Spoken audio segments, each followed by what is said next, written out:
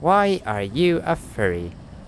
I don't know, maybe you aren't even a furry, but I know why I'm a furry. It's because I like stories, comics, and art that has cute animal people in them. So to keep up the furry spirit, here's 10 furry stories that might give you a little bit of furry inspiration. Let's go! One of the first comics I read after joining the fandom was Housepets. It has a lot of great humor going on, and the story arcs are incredibly fun to read. But know what else is fun? Mafias. Mafias are fun, I think. Combine the mafia with cats and you get Lackadaisy Cats. Fluffy cats that are part of mafia. Both the art and the story in this comic is amazing, almost as amazing as Mace's backstory in DreamKeepers. Like how long are you planning on making that prologue? Holy sh**.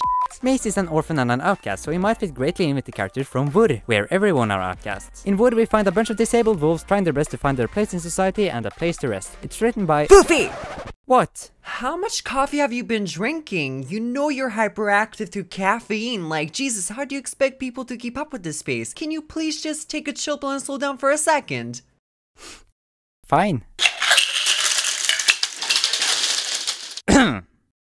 Let's go over to an important part of my childhood. The 13 and a half lives of Captain Bluebear is a giant adventure filled to the brim with fantasy, wonder, story, and so many other incredibly creative elements. In the story, we follow the adventures of Captain Bluebear, a blue bear who is also a captain. There's 13 and a half captors in the book, where each one of them encaptures a significant part of his life. It's fun, it's adventures, and I really hope that it doesn't suck, because it's like 5 years since I actually read it. But I remember its existence, and I remember it as something magnificent. Let's jump over to another field again. Music. One of my largest inspiration in this has been Fox Amoore. Most of you have probably already heard of him. He's a furry musician who spends a shit lot of time creating music, flying to furry conventions, and creating music. He has made so much stuff for such a long time, and it seems like he has found some form of success in it, and that just makes me happy. It gives me a little glimmer of hope that maybe I can do something cool as well. It inspires me. Also, I just really love soundtracks. It's like what I live for. So anyways, Fox Amoore, you are a dope man. Something that gives me some of the furry spirit is the movie Surf's Up. Wait, why? You might ask. That's just penguins.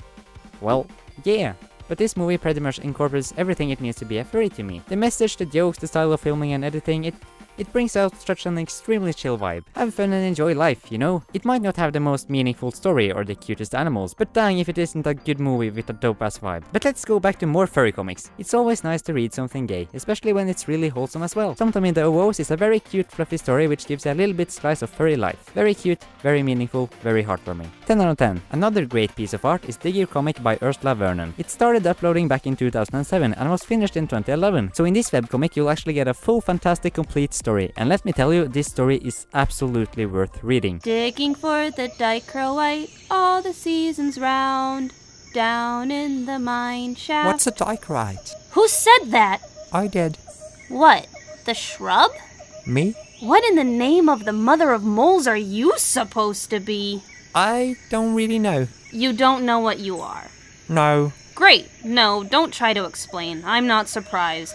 Nothing about this place surprises me anymore. It's gonna be one of those weeks, I can feel it. So what are you? I'm a wombat.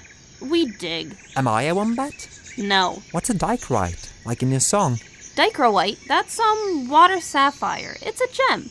Nautical types like it because it can find the sun when it's overcast, handy for navigation. Am I a water sapphire?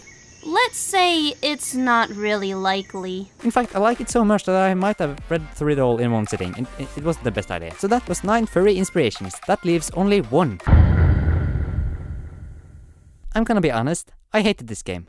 Three hours in and I thought it was extremely boring to play. Didn't really drag me in much, I wasn't a big fan of how stuff looked and I ended up stuck, not understanding how I was gonna get further. It was a bad experience and I can't say I was very impressed. I wanted to put the game down, but I also really wanted to understand why there was so much hype over a game that was so not fun to play. It didn't make any sense. So I put on a walkthrough and I watched. I think it's one of the strongest emotional responses to a story that I have ever had. And it just taught me that you really, really can't judge something before you've gotten to the end of it. The right ending, that is, because one of the endings just sucked big time. So that was all the 10 furry inspirations on this list. There are plenty of more that I can mention, like Endtown or CocaDope's Dope Dope Dopes. But then the list would go on forever. And ever. And ever. So here we are at the very end of the video. If you liked it, feel free to click like and share it and stuff and maybe write a little comment. I don't know, it would be very cool to see what your biggest furry inspirations has been. So, so you know, write it and, and let me know. I want to give a quick thanks to all of our patrons. Your support means a lot to us and it makes it easier for us to make more dope stuff. So thank you. I would also like to give a big big thanks to Luxis Stargryph for drawing my character and to Sky Tenkensune for having made the background music. Also a huge thanks to Vix n Dwnq for doing some additional voice acting. I really appreciate it. There's not much more to say now, so I just hope you have a great day and that the spirits of happiness stays with you. Thanks for watching, bye bye!